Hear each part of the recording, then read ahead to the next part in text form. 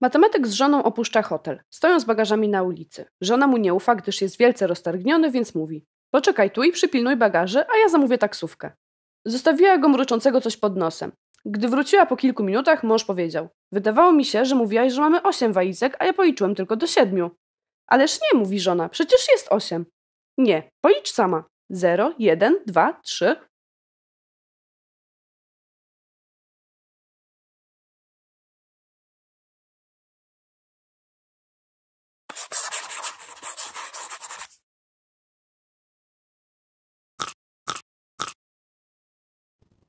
Zbiór liczb naturalnych jest podzbiorem zbioru liczb rzeczywistych.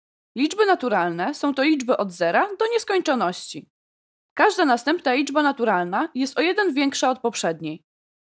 Do zbioru tych liczb zaliczamy liczby parzyste, które oznaczyłam na niebiesko, i nieparzyste, które oznaczyłam na pomarańczowo. Jak sądzisz, czy iloczyn dwóch kolejnych liczb naturalnych jest parzysty czy nieparzysty? Ponieważ chcemy rozstrzygnąć ten problem dla wszystkich liczb naturalnych, zapiszemy go ogólnie. Weźmy dowolną liczbę naturalną, którą mogę zapisać jako n. Następna po niej, co widzisz na osi liczbowej, jest liczba n plus 1. Nasz iloczyn będzie zatem wyglądał tak. n razy n plus 1. Jak pamiętasz, co druga liczba naturalna jest parzysta. Jednak nie wiemy, czy w naszym iloczynie parzysta jest liczba n czy n plus 1. Czy jest to ważne? Masz rację, nie jest, bo mnożenie jest działaniem przemiennym. Wiemy zatem, że na pewno jedna z tych liczb jest parzysta. No a iloczyn liczby parzystej i nieparzystej jest parzysty. Co możesz sprawdzić na dowolnym przykładzie liczb z osi liczbowej. Na przykład 2 razy 3 da nam 6, które jest parzyste, i 7 razy 8 da nam liczbę 56, która również jest parzysta.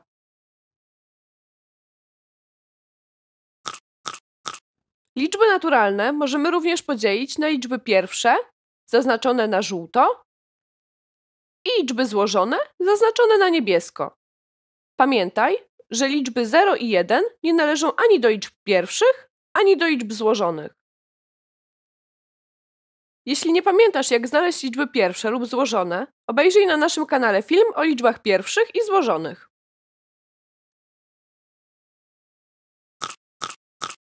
Każdą liczbę złożoną możemy zapisać jako iloczyn liczb pierwszych, które są jej dzielnikami.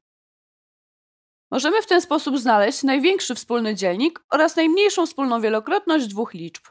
Jeśli nie pamiętasz jak to zrobić, obejrzyj na naszym kanale filmy o NWD i NWW. Skoro już sobie przypomnieliśmy, jakie są liczby pierwsze, a jakie złożone, rozwiążmy takie zadanie. Wyznacz liczby a i b, wiedząc, że NWD liczby a i b równa się 6, a NWW liczby a i b równa się 210.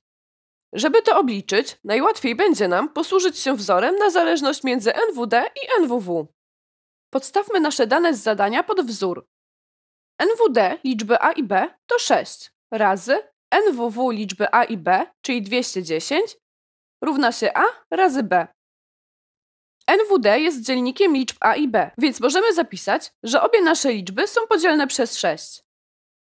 A więc a będzie jakąś liczbą x pomnożoną razy 6 i b będzie jakąś liczbą y pomnożoną razy 6. Skoro NWD jest dzielnikiem liczb a i b, to jest również dzielnikiem NWW.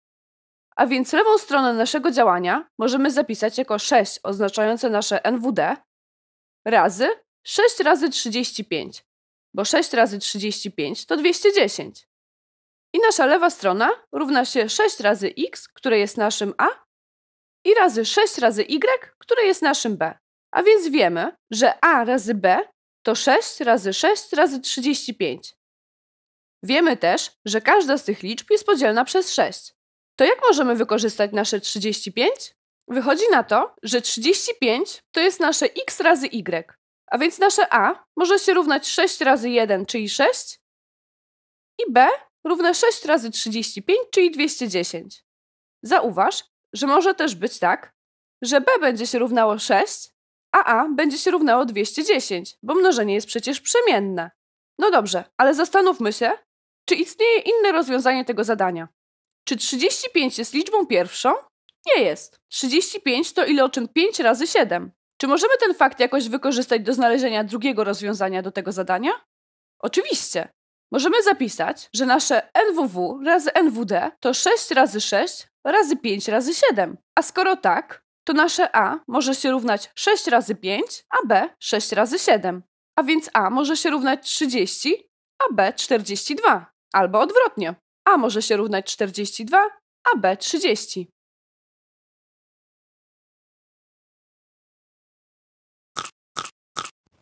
Rozwiążmy jeszcze jedno zadanie.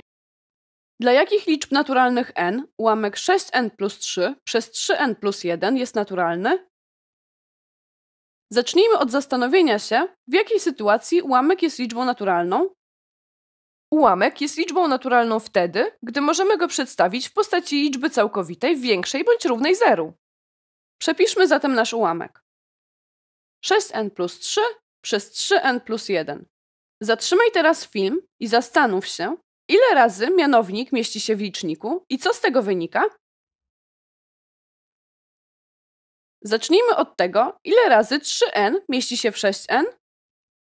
To bardzo proste. Dwa razy. Takim razie możemy zapisać nasz licznik jako 2 razy 3n plus 1. Czy licznik zapisany jest poprawnie? Ile trzeba dodać, aby nasz licznik był poprawny? Musimy jeszcze dodać 1. I mamy przekształcony cały ułamek. Ten zapis aż prosi się o skrócenie. Jak widzisz, nie możemy jeszcze tego zrobić. Musimy najpierw rozbić nasz ułamek na sumę dwóch ułamków. Zatrzymaj teraz film i spróbuj samodzielnie rozbić ten ułamek na sumę dwóch ułamków. Pierwszym ułamkiem będzie 2 razy 3n plus 1 podzielić przez 3n plus 1. Zaś drugim ułamkiem będzie 1 przez 3n plus 1. W pierwszym ułamku możemy skrócić nawias z mianownikiem i otrzymamy 2. Liczba 2 jest liczbą naturalną. Teraz musimy znaleźć takie n, żeby ułamek 1 przez 3n plus 1 był liczbą całkowitą. Zatrzymaj teraz film i zastanów się, jaką liczbą może być n? Szukamy takich liczb n, aby cały nasz ułamek 6n plus 3 przez 3n plus 1 był liczbą naturalną, a więc liczbą od zera do nieskończoności. W takim razie ułamek 1 przez 3n plus 1 musi być całkowity. Aby nasz ułamek 1 przez 3n plus 1 był całkowity, możemy 1 podzielić tylko przez 1 albo przez minus 1. Takim razie możemy zapisać, że 3n plus 1 równa się 1 lub 3n plus 1 równa się minus 1. Wtedy w pierwszym przypadku 3n będzie się równało 1 odjąć 1, a więc 0, co da nam n równe 0.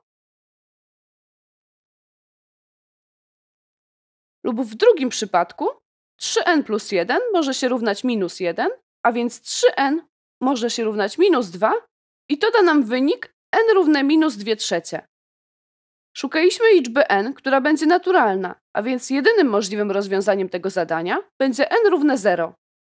W ten sposób rozwiązaliśmy zadanie.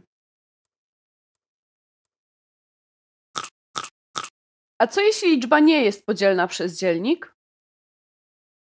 Udowodnij, że każda liczba całkowita k, która przy dzieleniu przez 7 daje resztę 2, ma tę własność, że reszta z dzielenia liczby 3k kwadrat przez 7 jest równa 5. Z pierwszej części zadania wynika, że liczba całkowita k przy dzieleniu przez 7 daje nam coś i resztę 2. Przekształćmy nasz zapis tak, żeby po lewej stronie mieć samo k. Wtedy k będzie się równać 7x plus 2, ponieważ reszta to 2. Reszty z dzielenia nie mnożymy przez nasz dzielnik.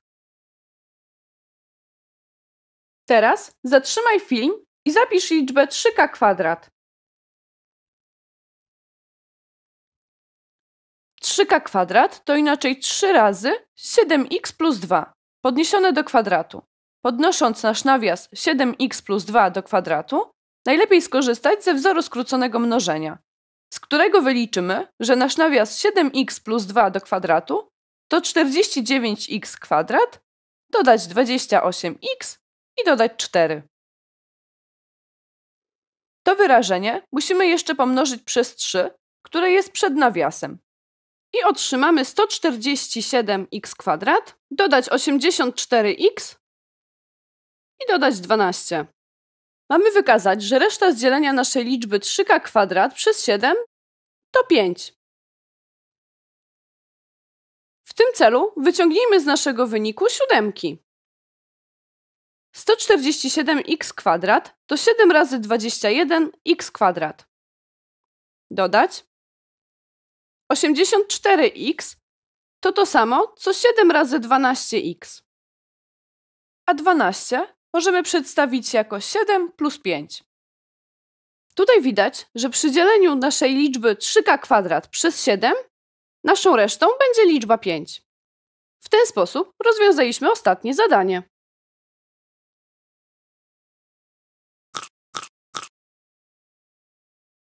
Liczby naturalne to wszystkie liczby całkowite od zera do nieskończoności. Liczba pierwsza jest to taka liczba, która ma dokładnie dwa różne dzielniki, jedynkę i samą siebie, zaś liczba złożona ma co najmniej trzy różne dzielniki. Zachęcam Cię do obejrzenia kolejnych filmów z playlisty o zbiorach liczbowych, a także do odwiedzenia naszej strony internetowej.